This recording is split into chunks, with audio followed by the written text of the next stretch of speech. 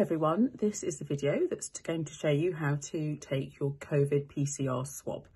Now, when you get the kit from us at the clinic, you will receive the packaging like this, and inside are instructions, the swab, of course, and a plastic wallet to return things in with a name tag to, for you to identify yourself.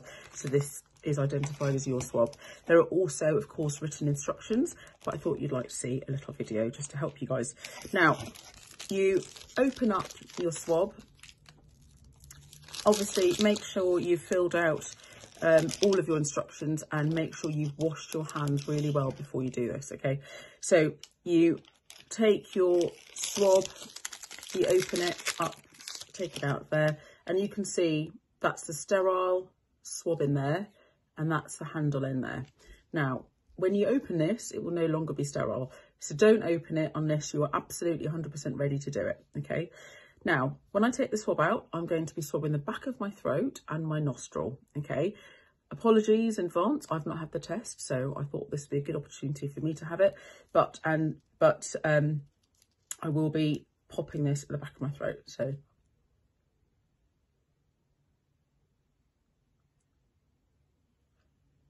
There are five points that I've touched and now my nostril into my nostril and turn it clockwise five times.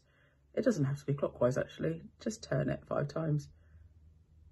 Four, five, and then just let it sit in the nostril for about five seconds. One, two, three, four, five, just to collect any mucus that may have dripped in and then pop it straight back in.